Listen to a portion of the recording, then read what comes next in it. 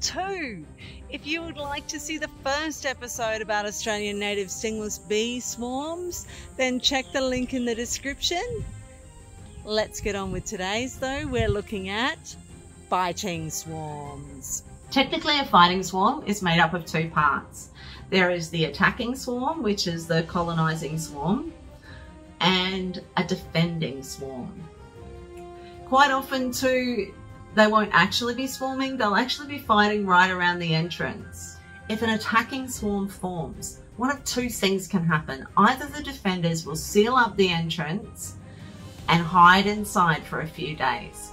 When they open the entrance again, if the attacking swarm is gone, then they simply carry on as normal. The other option is that the defenders can decide that they are going to fight for their hive. In this case, there is a battle. And what will happen is, as the defenders and attackers meet, one defender and one attacker will rip each other with their mandibles and they will fall to the ground and begin a fight that will last until death. And in most circumstances, both of the fighters will die.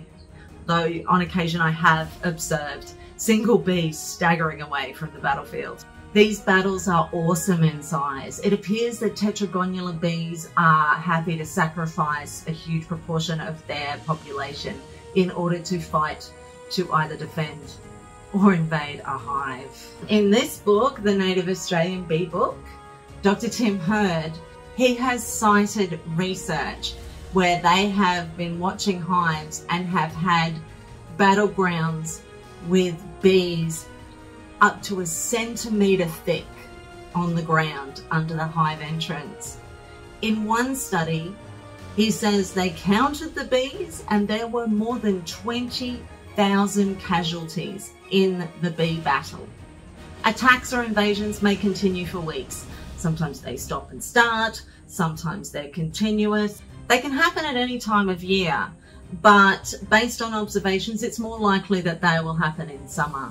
Here, it's very late spring, and we've just had a massive swarm season up here. Some people set up a trap hive when they see a fighting swarm, and what this means is that they'll wait until evening when all the foragers have returned they'll grab that hive and they will move it, but it must be moved more than a kilometre away because otherwise the bees will not reorient and they will get lost when they look for their hive again.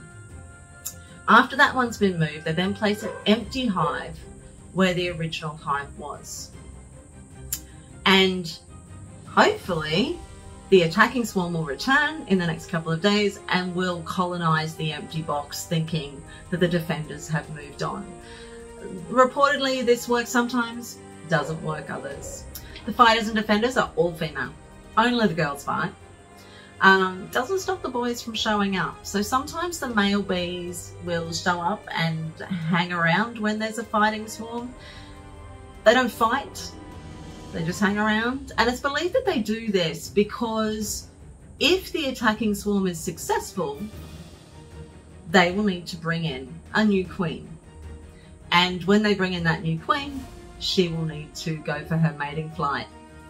And that brings us to swarm, num- swarm type number three. Mating swarms. If you'd like to see the next episode on mating swarms, then make sure you click that subscribe button if you haven't already so that you can get notified as soon as I finish editing because I'm telling you this, as soon as I finish editing, that video is going up. Until then, thank you so much for your support. If you've watched up till now, you're really helping the channel and I really appreciate it. I'm hoping that I can build this channel into something that will allow me to spend more time making better quality and more frequent videos. Until next time, make sure you find some time to be one with nature and I'll see you for mating swarms.